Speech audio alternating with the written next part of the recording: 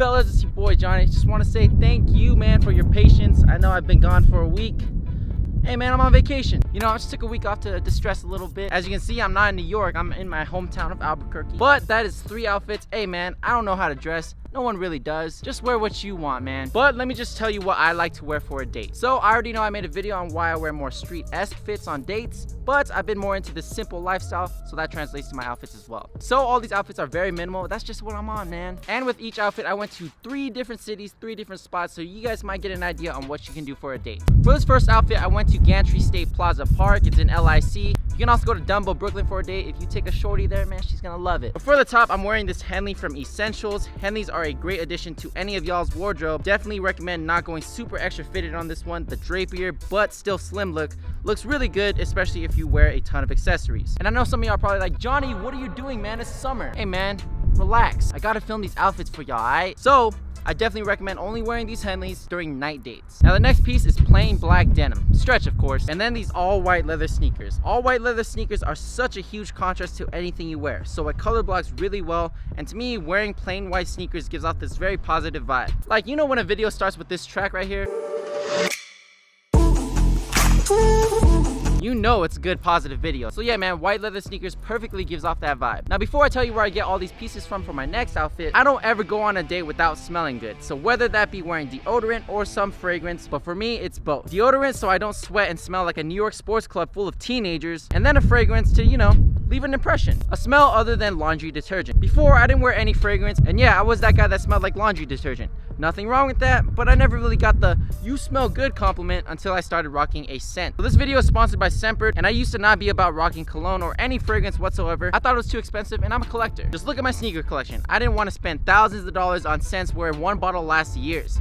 Sneakers you can resell and get your money back. Fragrances, it's a little harder to convince someone to buy your thick bottle. That's why Scentbird finally closed that gap for me. I stand behind it. So the way it works is they are a monthly subscription-based company. Each of these lasts over a month. They're basically around 120 sprays, and you get a new one every month or more if you want to upgrade. So you get to try a ton of fragrances for only $15 a month. And they got your girl too. Wouldn't recommend this on a date. I wouldn't be that guy. That's a good way to get rejected. But look at this. It's TSA friendly. You don't have to get those TSA employees with their pissed off face ripping through your bag bag saying, sir, please don't touch the bag. You don't have to worry about it breaking in your checked bag. Scentbird provides this super clean, minimal design twist case with the fragrance of your choice. And bro, they work with the actual companies like Gucci, Hugo Boss, and Dolce... Dol... Dolce...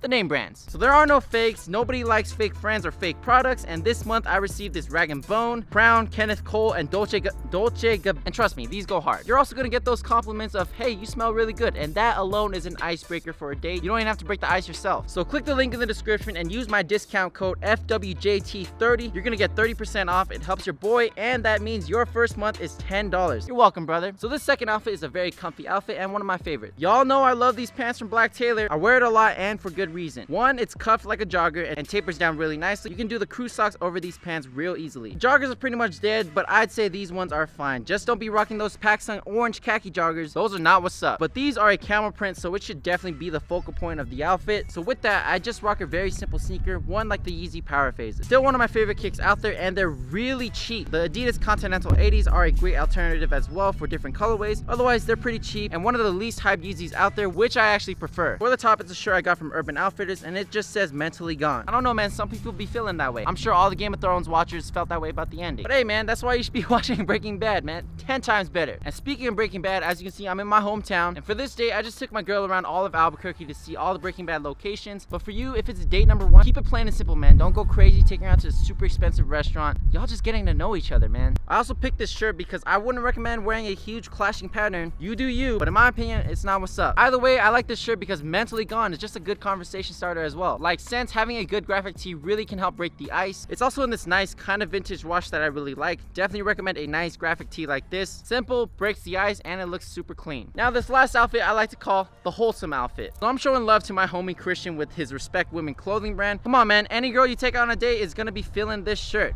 Wholesome. She's already gonna get a good feel for you and you've already made that good first impression. I know my boy Christian has a new capsule dropping very soon, so check out his channel for updates. For my pants, I'm wearing plain, simple, light wash denim from Hyper Denim, stretch of course, cuffed and rocking them with the same white leather sneakers from earlier. And on this date, man, me and my girl, we just went to check out Chicago. You know, the lakefront, the Bean, Navy Pier, Deep Dish, Giordano's Pizza. Now, each of these outfits had accessories. Definitely recommend rocking them on dates as well. It's also a good conversation starter or a way to deflect the conversation. Overall, this wholesome outfit has been one of my favorites as of late. All right, fellas, those are three outfits I'd definitely be rocking on dates. Look, man, wear whatever you want. It doesn't matter if it's streetwear, dapper, or casual. All that matters is your confidence, man. Have some self-awareness, rock it based on the occasion. Stick with the simple dates, stick with the simple fits, be chivalrous, and hold your ground with the conversations, then you should be alright, man. If you guys want to see a video on how to crush a date, give this video a like. Follow your boy on Instagram at Fly with Johnny Thai. And until then, stay fly. Make sure you guys check out Scentbird, and I'm out, bruh. Peace. Ah!